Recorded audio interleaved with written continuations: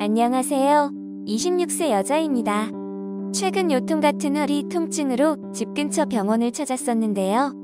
엑스레이 결과 아무 이상이 없다고 함에도 허리에 뻐근함 때문에 병원을 방문하려 합니다. 다리 저림 증상은 없고 허리를 숙일 때 통증이 있고 주로 허리 아래쪽이 딱딱하고 뻐근함을 많이 느낍니다. 통증 클리닉에서 근육 주사를 맞았었는데 통증은 많이 줄었지만 그래도 뻐근함이 남아 있습니다.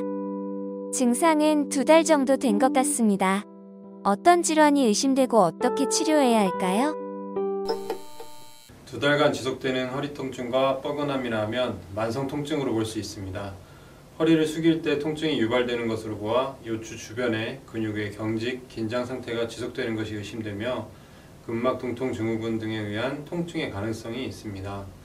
근육 주사로 통증이 많이 줄어든 상태에서 어느 이상 호전이 되지 않는다면 도수 치료와 운동 치료를 우선 권해드립니다.